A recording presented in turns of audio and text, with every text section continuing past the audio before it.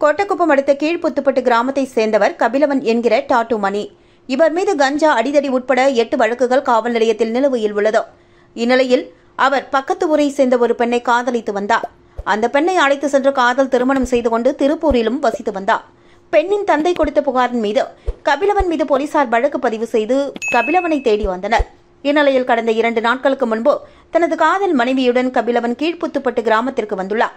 இதனை அறிந்த கோட்டக்குப்பம் போலீசார் அவரை விசாரிக்க வீட்டுக்கு சென்றபோது அவர் சுமார் ஒரு கிலோ கஞ்சா பதுக்கி வைத்திருந்தது கண்டுபிடிக்கப்பட்டது.